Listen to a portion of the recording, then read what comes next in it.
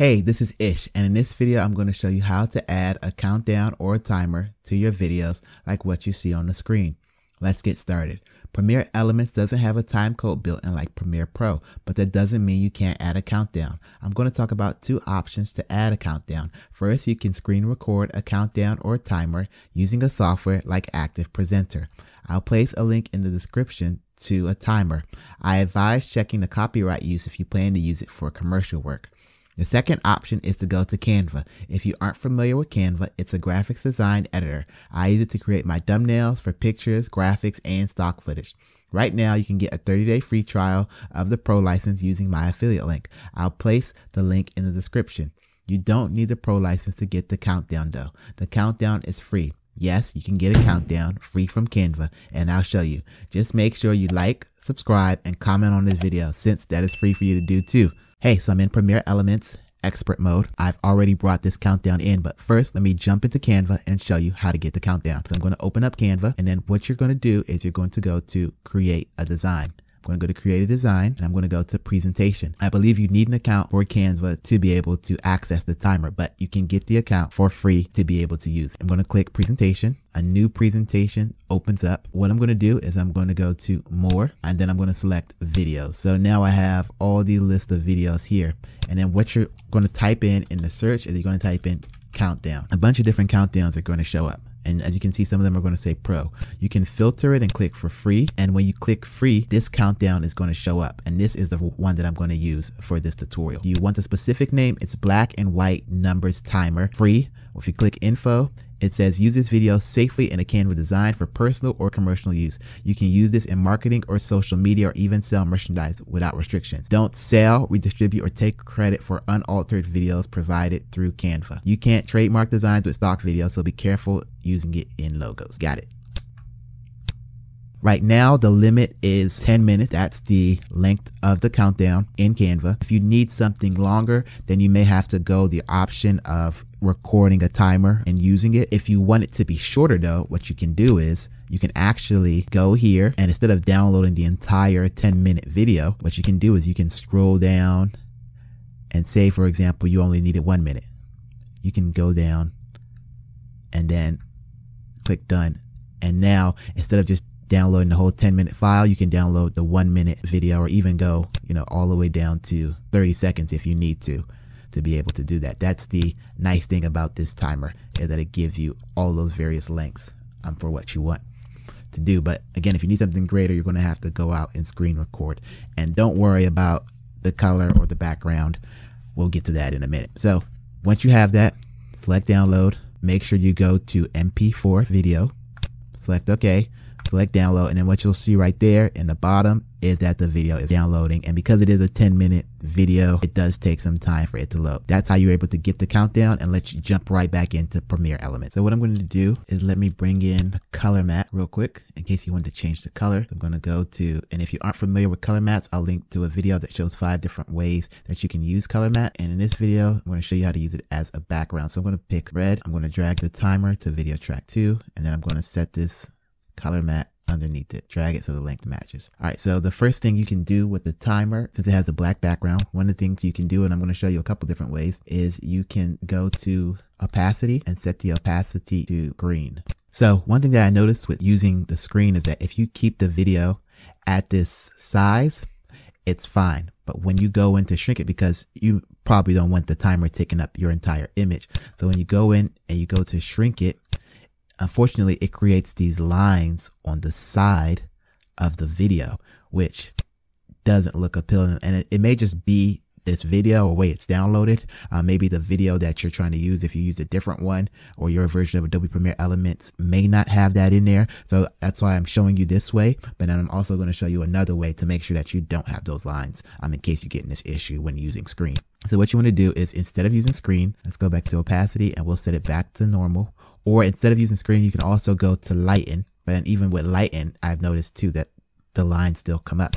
So go back to normal and then what you want to do is go to effects and then go to Luma. Take the Luma key and then drag it to the video track. You can adjust the threshold and the cutoff. But with Luma, you'll see that the image, there is no lines on the side. It's a perfectly clean image, which is what we all want.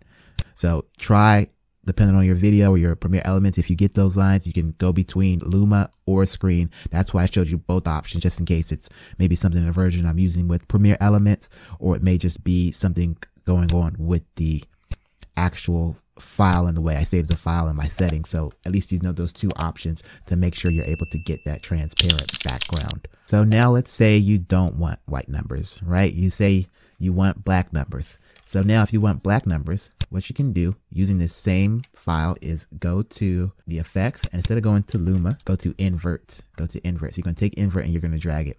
So what happens now is instead of getting the white numbers on a red background, you now have black numbers that you can change. And then you can adjust the threshold. When you adjust the threshold to zero, it says if the Luma key is not applied. If you want black numbers on white background, take the video and then just apply invert. You don't need to apply the Luma key. But if you want just black numbers in general, then you can adjust the threshold. But that is what how you would get these nice black numbers. You can delete this I'm going to delete the Luma key.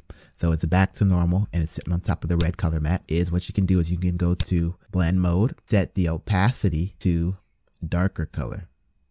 So when you get the darker color, what happens is you have this transparent text now. So with the color matte below it, you can change it to whatever color that you want for the number. So allowing you to whatever this color matte is, that's the color of the numbers, but then you're going to have that black background on top. So that's one way you can do it. And then again, you can go back to invert.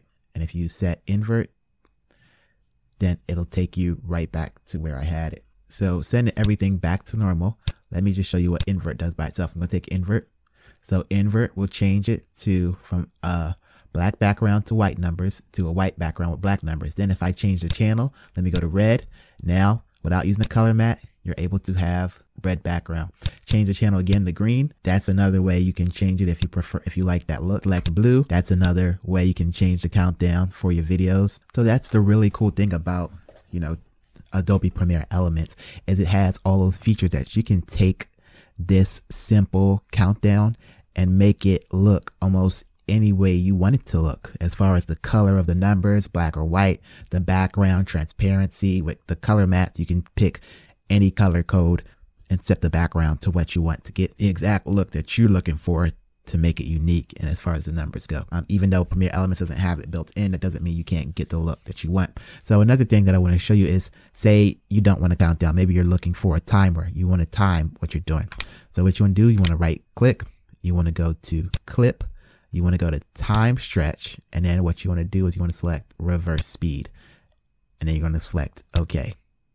And boom instead of you having a countdown as it it's going to render the required files because it is long but instead of you having a countdown what you're going to have now is you're going to have a timer counting up from 0 to 10 so you took that simple free countdown you have yourself a timer and this can be great for cooking videos so again just go back in there i'm going to go to luma I'm going to drop the Luma key in there. Now it's transparent. And then I'm going to drag this to video track three. Then I'm going to go into project assets. I already have a cooking clip. I got this clip from Canva. So what you do, you can take this clip, you can adjust the corners and you can put it right there in the corner of your video. In the corner and in the beginning, there's this little pause. So you can, I'm going to take that little pause out. So it starts right at zero. I'm just going to trim that section off. If you see right there in the corner, you have the countdown, but with the white background, it can be hard to see. What I would recommend doing, just if you want to make sure you get that easy look, let me just go to color matte. I'm going to drag a color, the color matte back in there. The timer's above it. So then I'm going to shrink the color matte down. I'm going to put the color matte right underneath the timer. So now it's clear. Everyone can see how long it's going to take.